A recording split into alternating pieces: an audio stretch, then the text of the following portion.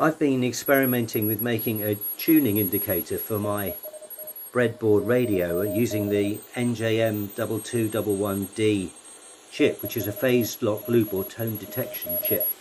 And I had the idea of adding an electret microphone to it to pick up the sound and trigger the light and it's worked really well. It's very sensitive.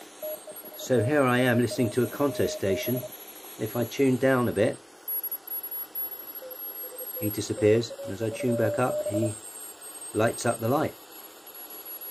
So I'm really pleased with that. I've also made a version just going directly into a breadboard without a microphone and that's working pretty well too but I'm absolutely astonished by this.